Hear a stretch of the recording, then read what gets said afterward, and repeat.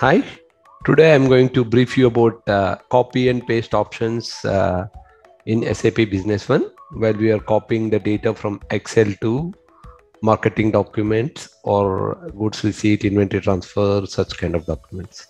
So this is my sale order and I have data with me in the Excel. This is my Excel data. So you should need to make sure that all the columns in Excel and columns in SAP B1 or same. So now I'm going to just copy all these uh, items, quantities from Excel and then I'm going to paste it on inside SAP Business One.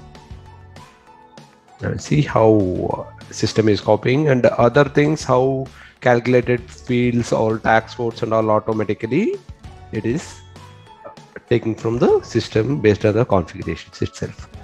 This is how uh, I mean uh, copy paste option will work in SAP Business One. Thank you.